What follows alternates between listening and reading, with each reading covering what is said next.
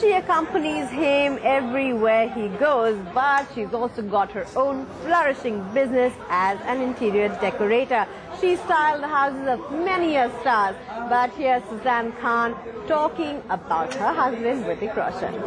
Suzanne Roshan, the only woman who can make Hrithik sing on national television. You made me believe that I am special.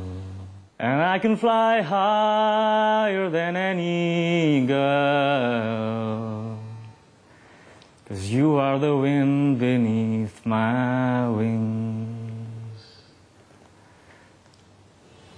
I love you.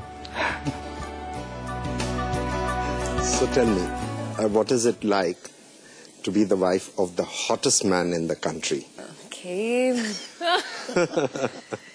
Uh, it's really fun to know that, um, you know, the man that I fell in love with has become the hottest man in the country, and it's it's like this great um, a relationship that we share, even though we've been married a long time. Never It's- insecure?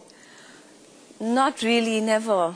Unfortunately, I- he's never given me a reason to be. The relationship that we share is just like from friendship to, you know, being uh, husband and wife. But husband and wife, we never really took that as seriously as, you know, like there is a commitment and you got to do this. It was all about being boyfriend and girlfriend.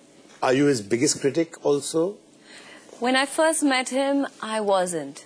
I was really um, more uh, like sugarcoating what I wanted to tell him because I think I didn't share the relationship that I share with him today. So I was that's- scared to hurt him. And um, I never was completely honest. Now I can just completely be blatantly, you know, um, brutally honest with him about anything and everything. Did you ever think he'd become such a big star? I think I knew.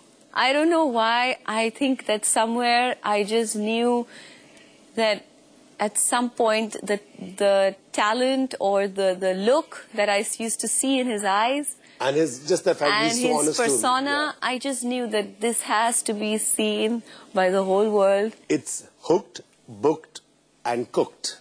Ah, Who said koi mil gaya? I think him. And who said who booked Kaho Na Pyar Hai? It was both of us. It wasn't just one person. And now who is being cooked? He's being cooked. Who or what would you love? okay. Who would you like to kiss? And who would you like to kill? I think I would like to kiss like Tom Cruise. yeah. Okay.